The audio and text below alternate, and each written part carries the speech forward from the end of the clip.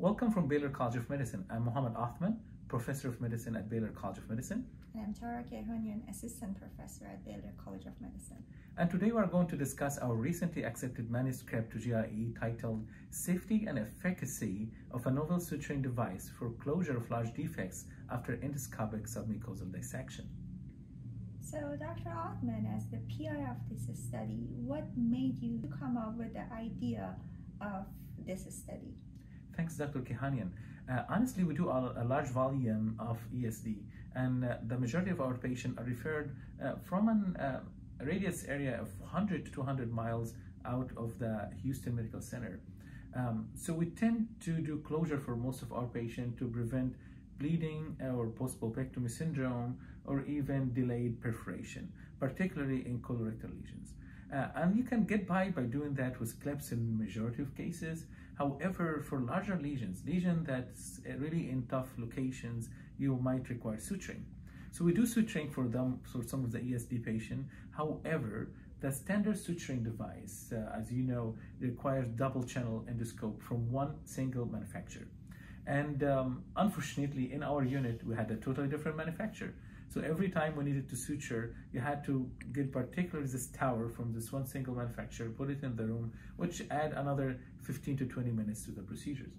In 2018, a novel suturing device, uh, SX, uh, the one we used in the study, was approved. And one of the uh, interesting facts about that device is that it is utilizing only single channel endoscope from any manufacturer.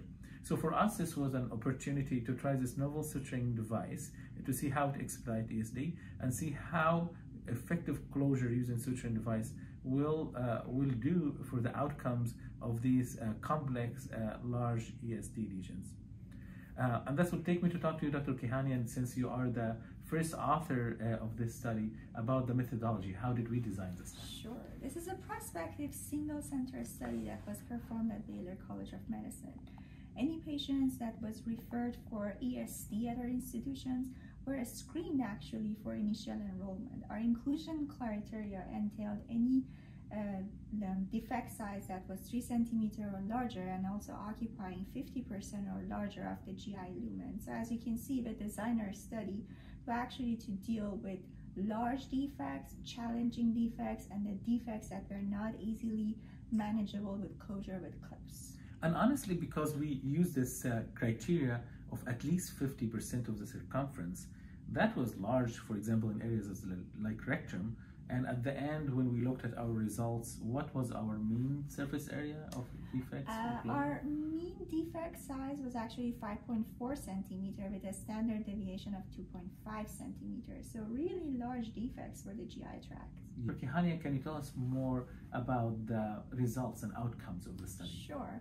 So in this study, we tried to separate technical and clinical success. So technical success was defined as actually able to attempt the closure with overstitch SX, and technical um, success was achieved in 94% of the cases.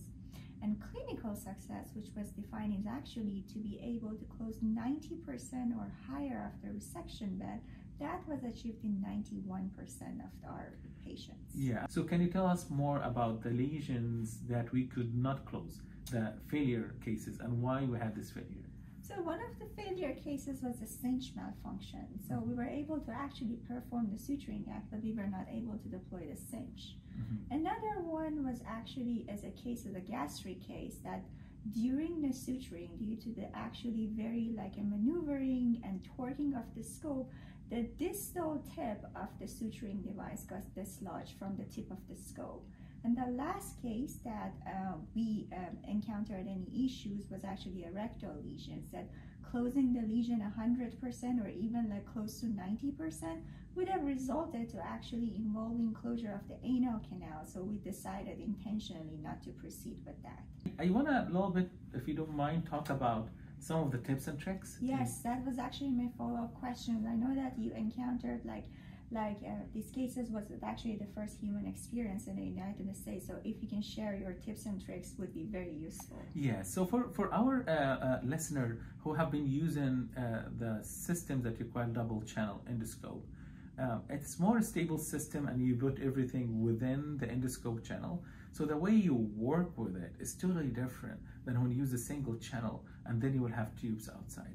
And I would like to give some advice about how to use it. One of them is that number one, when you are setting up the device, that tubes, are plastic sheets outside the endoscopes, you have to make sure they are not kinked. And how you make sure they are not kinked? Before you set them up over the endoscope, you have to pass your um, anchor and your tissue helix in the two channels from the beginning to keep these channels straight and strong enough so that they don't get kinked. Once you set up the endoscope, you want to make sure that the distal part is really um, uh, attached to the end of the scope. So sometimes I was adding additional uh, maybe uh, tape around the end to make sure that the end is stable.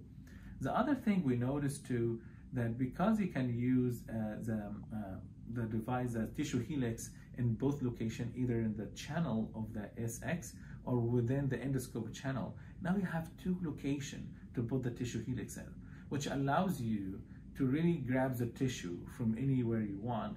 So we felt that the best way to suture with this new device is to use the tissue helix every time. So Dr. Keihanian, can you tell us more about the adverse events we encountered in this study? Sure. Before I actually talk about adverse events, I want to mention that with using this device for closing such large lesions, we were able to actually to achieve same-day discharge in almost 78% of our patients.